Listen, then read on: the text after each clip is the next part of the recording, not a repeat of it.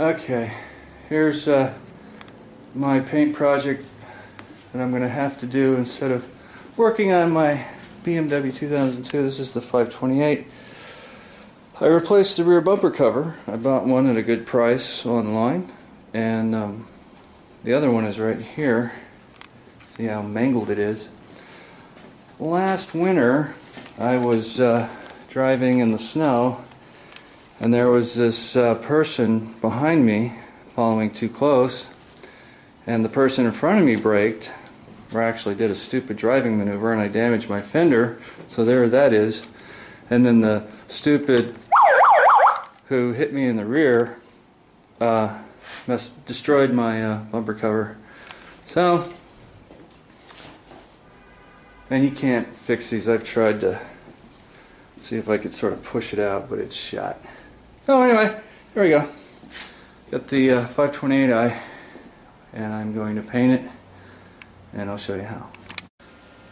Okay, I have uh, gone ahead and, and taped and covered my car, and um, kind of go around it, I've tried my best to seal it so that I don't get the overspray. Just got a little more to do here.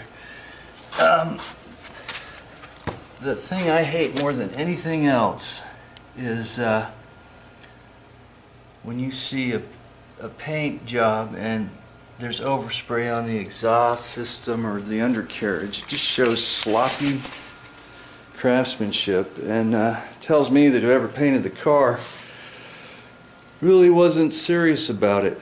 Amateurs or they just have a poor work ethic. And I'm, uh, I do not want to be driving a car that I painted that looks like uh, somebody who didn't really put their heart into it painted it. Next step is to prep the surface, clean it. What I'm going to use is this product right here, which is a, a cleaner that's designed for uh, plastic or rubber style flexible body parts. I was told do not use wax and grease remover on these flexible parts because it will not come out and you'll ruin your base and not get a good adhesion when you paint. So this is a something my jobber set me up with specifically for this application. And um, the goal is to spray it on and let it sit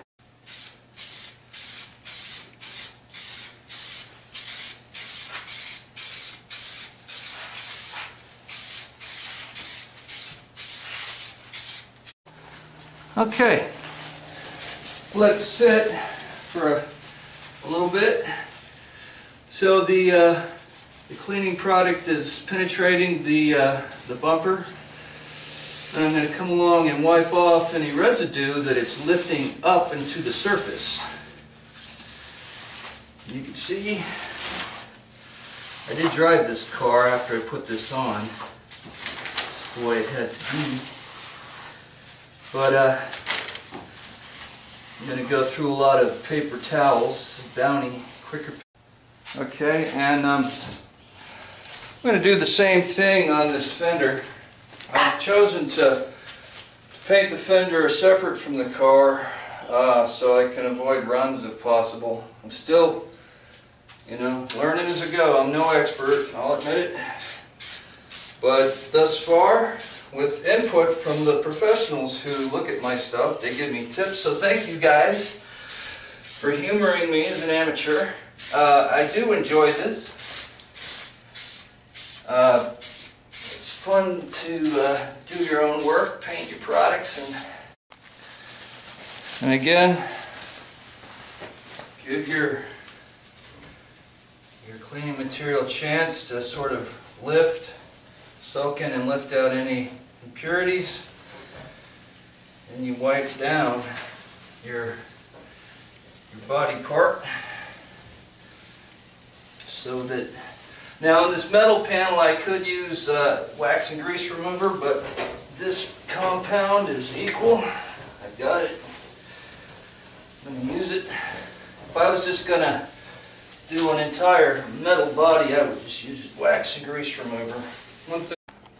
All right, now I'm going to use a, a 600 grit sandpaper on this bumper. Plastic bumper, it's been primed, but the prime paint will not have a adhesion or teeth to the coat I'm going to put on top of it, so I'm going to sand it to give it teeth so that I'll get the paint to stick. Now you notice that I went ahead and used my uh, cleaning compound first. If I were to go ahead and sand and then use the cleaning compound, what I'm doing is I'm sanding in any kind of debris and impurities into the substrate. So you want to clean it before you sand it so you don't grind in any impurities. Okay, I have sanded down both components, both pieces, whatever. Temperature is about 55 to 60 in here. I want to make sure that it is it is fall and so it's been cool. I got to make sure that the metal and everything else is up to par.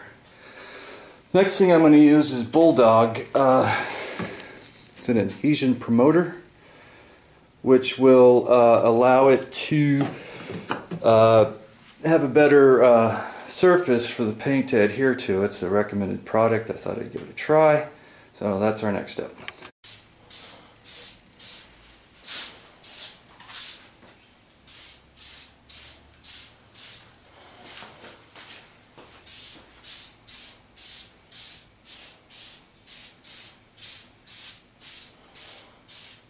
Okay, now comes the primer time and I'm using um, PPG epoxy primer and its catalyst. Here's the, the primer and here's the catalyst. Da -da -da and uh, whenever you get any kind of a primer, base, or clear, make sure you get your fact sheet with it. It tells you at what pressure, or it tells you the, the mixing ratio. These guys are two parts primer to one part catalyst. And it tells you the air pressure to use at your gun. At your, your gun, which I've uh, been uh, sort of playing with to make sure I get the right air pressure. I've got my little uh, pressure valve uh, needle right here. It tells me how much pressure I have at the gun.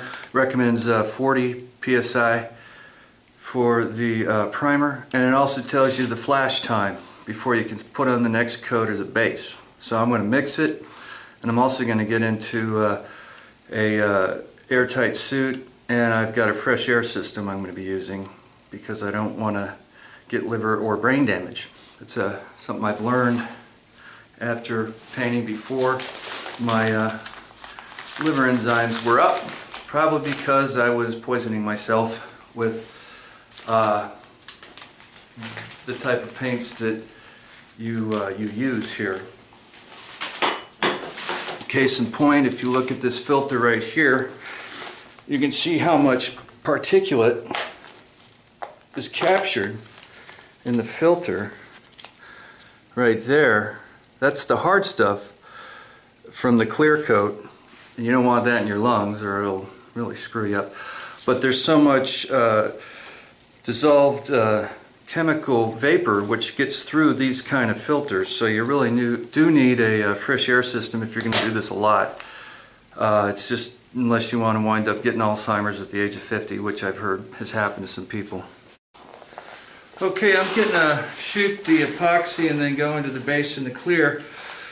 I wanted to emphasize that I've got a, a airtight suit on and uh, a plastic underneath the balaclava on my head and airtight goggles and I'm going to be using an oxygen supply like this with the uh, oxygen running out this door and to uh, a source of clean air outside. It's a hobbyist model. So safety is, is, is number one, like I said. So getting ready to shoot.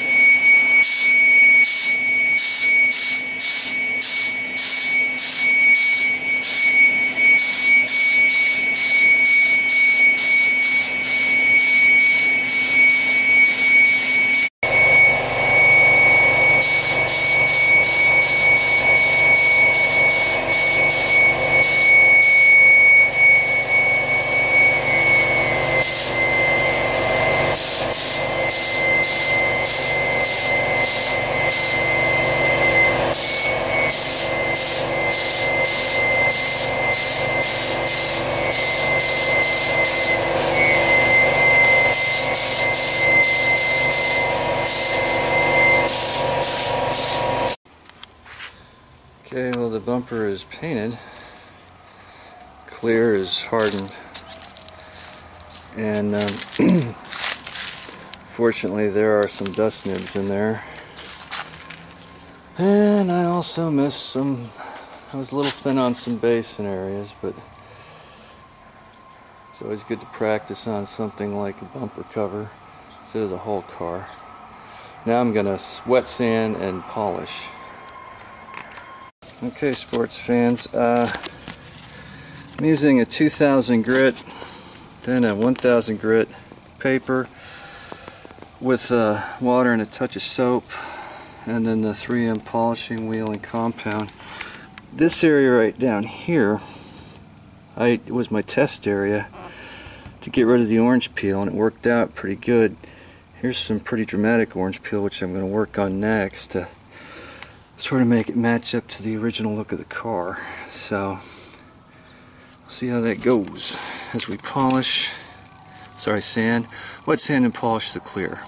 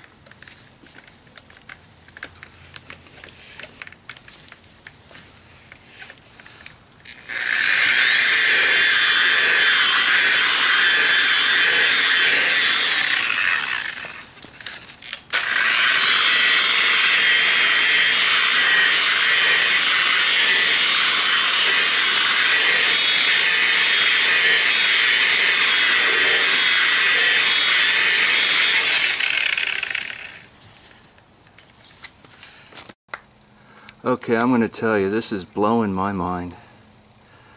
This is the area I just polished after wet sanding, and if you follow it, watch it go into the orange peel. Orange peel.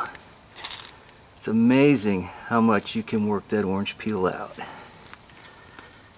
I am just stunned at the quality that you get from wet sanding and polishing. Just got to be careful not to cut through the polish and the, the, the real the real test area are these curves. That's what always stands out to me. I'm just very pleased and I'll tell you last night after I was painting all day I had dust nibs in this and I was depressed I'm thinking this ain't gonna work why bother well I was wrong so much can be done in the color sanding and the polishing. I'm just floored. Okay, well, this is phase two of uh, painting and getting the 528 back to its normal state. By the way, there's my 69 2002, which is running well. That was my dad's. I went to with him to buy that car. Anyway, back on this one. Um, got that uh, rear bumper cover painted. Looks fantastic. And when I was painting the bumper cover, I also opted to uh, paint uh, a replacement fender that I bought that had been damaged in the winter accident as well, right there. And so what I'm going to do now, I went ahead and painted this with the two-stage uh, epoxy base, three coats clear, then I wet color sanded it and uh, wound up buffing it partly with a mechanical buffer and partly by hand because of the little grooves. I didn't want to burn the clear out. You cut through that clear very easily with a mechanical buffer compounding wheel. So anyway I'm going to replace this some bitch and be done with it. I'm so tired of dealing with this messed up fender one of the things I am going to use when working on this fender is the Bentley manual. There's actually two volumes for this E39 BMW. Enormous car. You need an enormous service manual in order to work on it. And here we have front fender removal and installation. There's a God in heaven. Thank you.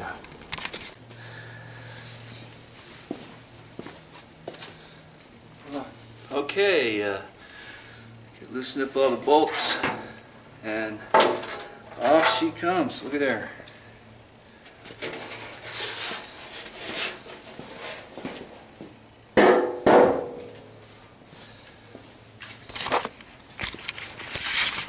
Oh, here we go. Here's the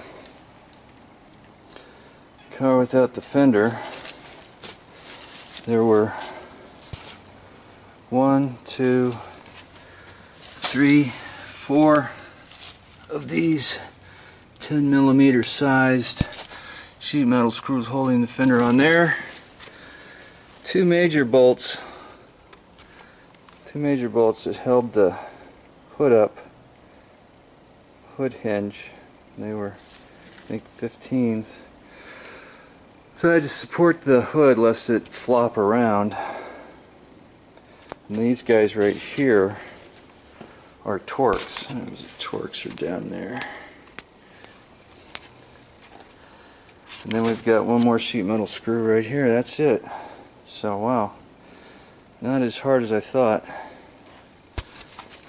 The thing I had to do was pull out the uh, inner fender shroud, inner fender shroud, so that uh, I could access the sheet metal screws underneath it. These are wonderful applications. The older model BMWs, like this one from 1969, didn't have inner fender shrouds. As a result, you get a lot of debris that built up, and then you get the rusting right down in here, and you just eat the fender up. So, glad BMW got their act together. Oh, okay, the car, I washed the car. I am done. You can see this bumper cover is complete. And uh, no orange peel. Nice, nice factory match on that one. And down here, the front left fender, which was damaged, has been replaced. And again, a nice clear coat that has been matched. So we are back to normal. I